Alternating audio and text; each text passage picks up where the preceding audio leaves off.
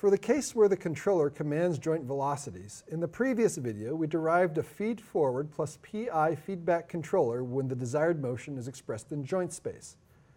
Now consider the case where the desired motion is expressed as xd, the desired SE3 configuration of the end effector as a function of time.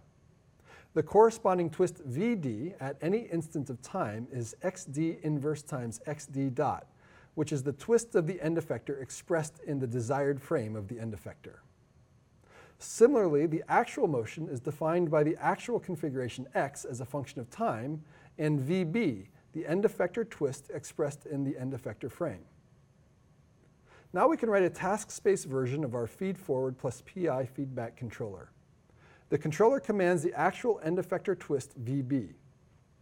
The feed forward component is the desired twist VD, but expressed in the actual end effector frame.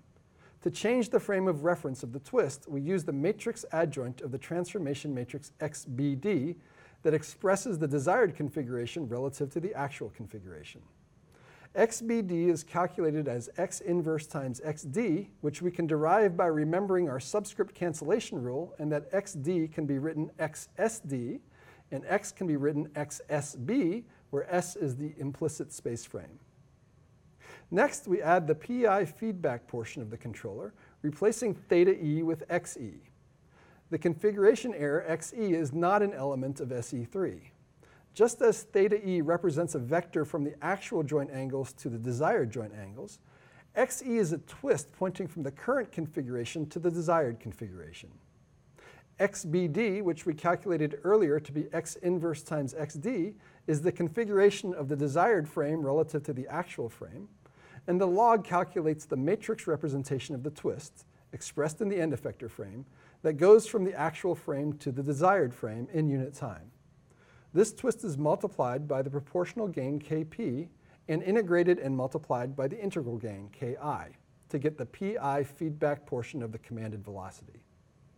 The final controller can be written like this, a task space feed forward plus Pi feedback control with velocity inputs.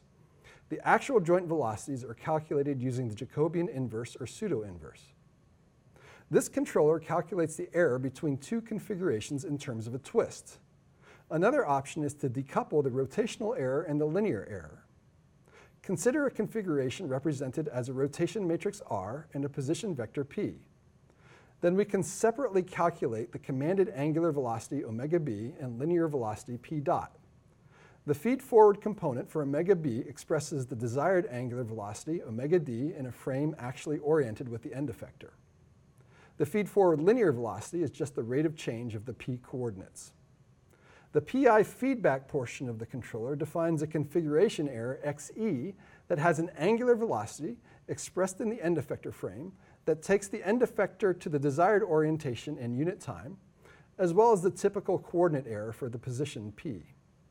The resulting control law is a decoupled task space controller with velocity controls. As an example, assume that the red frame represents a stationary desired configuration and the green frame represents the actual configuration.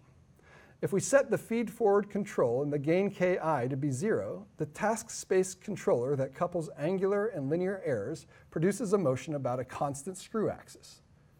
The decoupled task space controller, on the other hand, carries the origin of the frame along a straight line path. This concludes our study of robot control with velocities as controls, but we'll see these control laws again in chapter 13 when we study wheeled mobile robots. For the rest of this chapter, we assume that the controls are joint torques and forces and consider the robot's dynamics.